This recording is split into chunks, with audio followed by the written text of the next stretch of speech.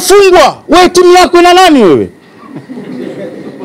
Ni watu vipi nyinyi mnazungumza maneno ya ki, ya ki, ya ki, ya, ya, ya, ya, ki hayawani haya? Sisi tunapata uongozi, tunapewa dhamana ya kuongoza mpira, ya kuongoza clubs hizi kubwa, halafu tunaaminishana kwamba timu zetu zistahili kufungwa.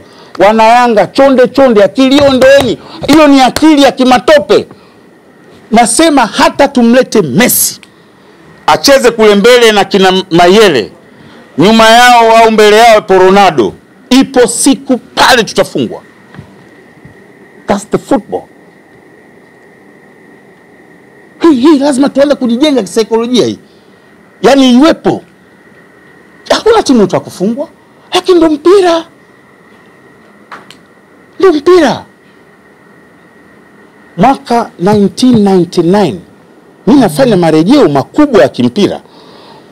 Manchester United ilishinda makombe matatu, ngumu sana kwa Uingereza kutokea. Walishinda FA, wakashinda wakacheza ndani kwa Barclays Premier League kama sikusei, wakashinda na Champions League. Hey.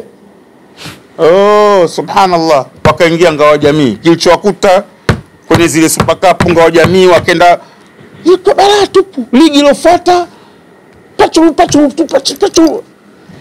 Mungu nisaidie.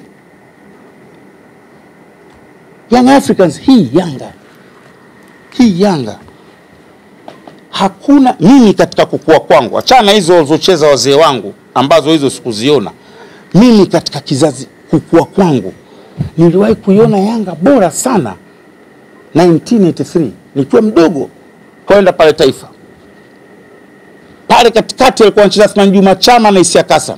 Chu double centafu, huku Yusuf Ismail Bana, huku Ahmed Amasha, golkipa miskini, midfield Ch- Charles Boniface Mkwasa na Juma Jenerali Mkambi, Omari Huseni anaweza kucheza na Huseni Idi. Pale anacheza Bedi Mziba na Juma Makumbi Juma. Utoki. Simba hiyo alitoka zake Brazili kwenda kujiandaa kuja kucheza na Yanga, kaja pale kwa Mkapa wakati wanaita Taifa, kama alichofanywa juzi, ndio imtokea hivyo iza hizo hizo. Yanga ile ilikuwa atoki mtu. Mechi ya mwisho tumechukua ubingwa wa muungano, tumewafunga Small Simba goli nne moja. Mkwasa mwaka ule ndio mchezaji bora wa msimu.